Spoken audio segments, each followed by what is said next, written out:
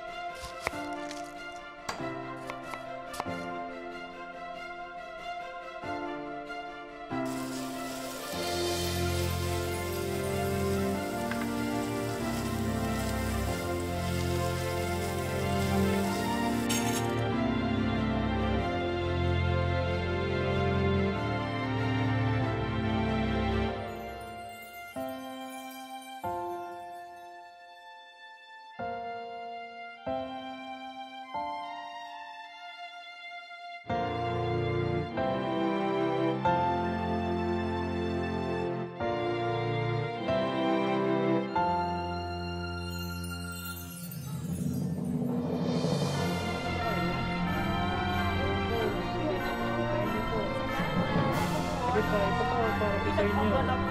Ito po.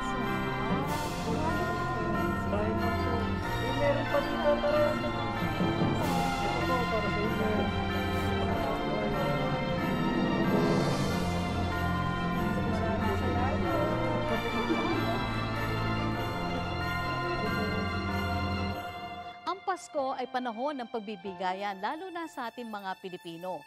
Kaya para sa mga taong hindi nagsasawang mag-give love at give time, hindi man kadugo o kalahi, saludo kami sa inyong kabutihan. Isang masayang Pasko po mula sa PTV.